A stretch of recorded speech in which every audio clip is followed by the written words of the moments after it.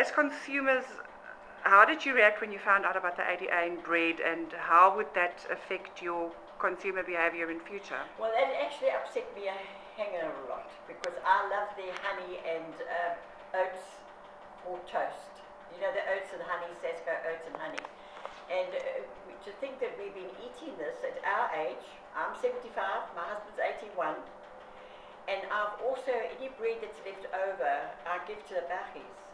And to think that I'm giving people that can hardly buy meats, can hardly buy anything, they are eating this bread, which is bad for the chest, bad for uh, children, they get asthma, and it's also cancer forming, eh, Michael? Cancer forming. and also cancer forming. And being that my husband is a homeopath and I've always watched the food and watched everything, I was actually very, very upset. I took the flour and I threw it into the dustbin, but I wouldn't put it just in the bag. I threw it all over so nobody could take that flour.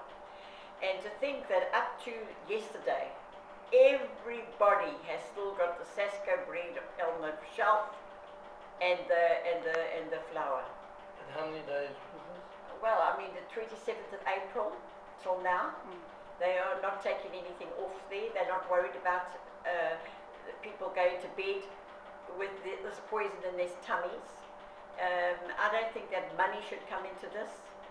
Uh, I think that one should honestly and earnestly think of the people of South Africa. And I think that the government should actually do something about additives to any food in this country. I really do. You want to know what you eat. I want to know what I eat. And I do read the tin labels. I don't buy tin food, by the way, but I do re- read labels wherever I go. You have to. And nowhere on the bread do they tell you all the harmful things that are on there. So I was actually very, very upset about the whole thing.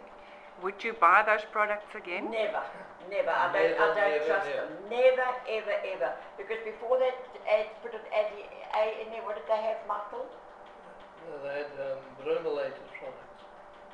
Say that again. Bromelated, What is that? Which is uh, it's bromine.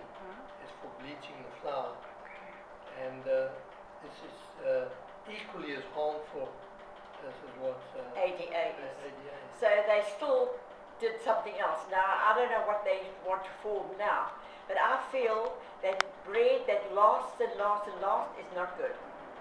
Anything that's good will go off quickly because it is full of energy and full of the goodness of food. So I think that that's very, very important that people must see. Many of these um, companies now say that they will withdraw it by the end of May. Um, Uh, I did Pick and Pay say they're taking it off today. they are taking it off by the end of May. Pick and Pay has already taken it off. Pick and Pay's really Taken it off. Woolworths, uh, Checkers, end of June, July. Yes, yes. But the, the rest is all set the end of May. Would you, I mean, I, I, buy it again? Do I you think- trust that? No, I don't. No. No, I don't. I don't trust that at all. And I feel that the government should stay in because, look, let's face it, the bread and the mealie meal, that is the staple diet of mm. South Africa, mm. isn't it? Yes. Everybody has bread in their house, especially the poor. That's all they can live on. And when I go out and I want to give something to someone that is starving, I go in and get bread.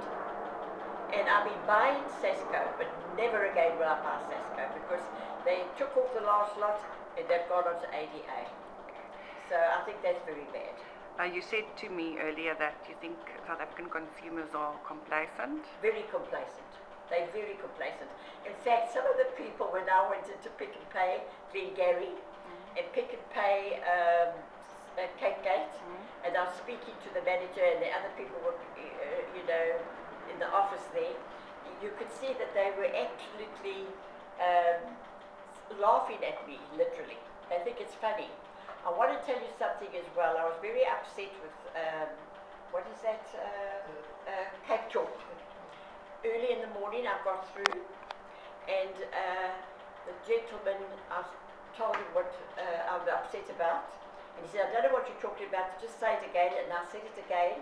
And I was trying, I was still, still talking to him about this uh, product. Mm. And I was just telling him about the Sunday Times and what report they were saying. And he cut me off. My friend phones and he says he does not like alarmists and cut her off. I'm not an alarmist at all. Um, I'm, a, I'm a person that just loves people. I love children. I love life, as you can see. I'm 75. I've, I've still got lots of energy in me. And uh, I was prepared to march if anybody would march with me. But nobody wants to do anything. they, they laughed at me at Gary and at Cape Gate when I said, come on, you must all stand up and, and do something about this because if everybody stops eating Sasko and they take it off the shelf and everybody in the country does that, they have to change. Yes, may I They have a have to word? here? change. May I have a word? Yes. You know, every producer produces only with one purpose in mind, and that is to sell their products. Now, if people gang up and they say, forget it, we're not buying this rubbish anymore, that producer will damn soon change his attitude and his product. Yeah. It's as simple as No, that. they, no, they will. They will. The people that you approached in the shops, um, did they actually know Uh, what you were the- talking uh, about? uh, uh, uh, I stood by the bread place up in Albany the day, and another lady was standing there, and I said to her, "Don't buy Sasko, don't buy that bread." And she says, "Why?" And when I started telling her about the Sunday Times and Mm. what, what was happening, and I had a photostat copy like this, and I said to her, "This is what I'm talking about." She put the bread down. She thanked me very, very much, and she went to Albany. Okay. And if Albany and Blue Bread and all these other breads can not have all these additives in, why can't Sasko? I think Sasko does it because they want their bread to last a long time on the shelf. I don't know. I don't really know what it's all about.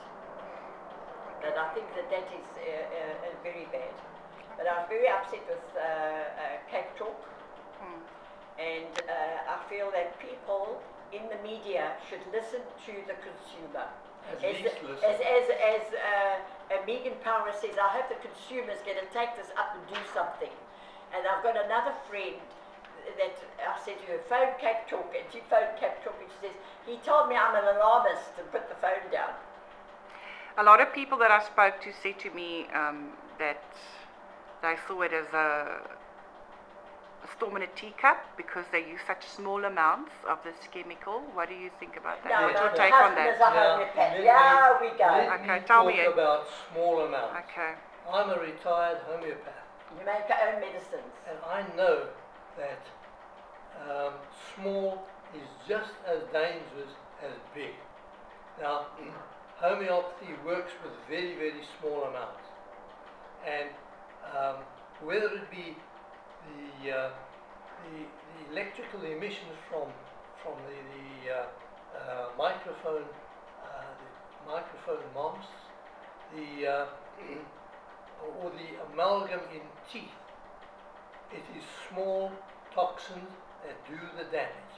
And quite frankly, the only safe level for any toxin is no level. Yeah. End of story. Yeah.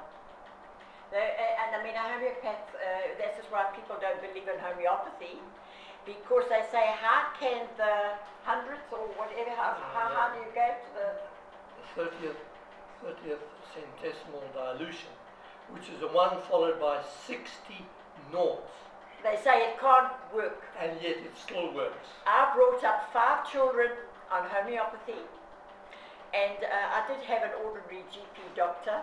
And when my husband had to go for a medical because he uh, had to take some insurance out, he said he can't believe that all five children, my husband and myself, have never come to him because we never get coughs and colds In 18 years. in 18 years, and I said it's because of homeopathy and, and natural, natural, natural therapy. That much for small amounts.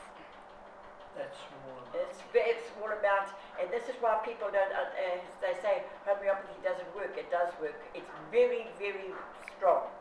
But I'll tell you what is uh, hindering homeopathy today, and we're going to go on to, uh, what's it, Michael, what you do? What medicine are you going to do now? Oh, yeah. Acupressure and Yes, yes. vibrational. Vibration Uh, because of all the uh, masks, uh, cell phones, All these things are disturbing people tremendously, tremendously. And I can tell you, I don't have a cell phone. I don't want a cell phone. I don't need a cell phone. I've got a, I've got my daughter who's got to have a cell phone. So when we're in the car, we normally are in the car with her, and she never uses a cell phone in the car. But say if we got to the shops or something, somebody needs us urgently. I do see the the good in it. But my husband and I never had a cell phone, and we've always done business. I worked for APSA in APSA days when I worked for APSA, there was no cell phones. And if I can use it, go in life without a cell phone, so can most people. And I don't think children should have cell phones. I really don't.